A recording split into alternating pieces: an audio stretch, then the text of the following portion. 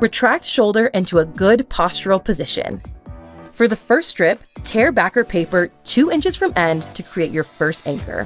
Place the anchor inside the shoulder blade with no stretch. Peel backer paper from middle segment of the strip. Apply tape to the shoulder with moderate stretch. Lay down the second anchor with no stretch using the last 2 inches of tape. Create an anchor at one end of the second strip.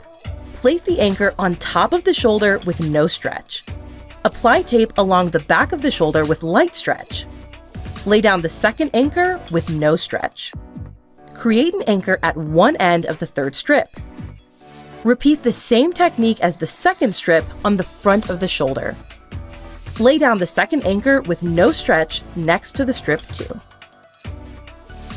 Smooth over the full application to ensure tape is completely applied to the skin.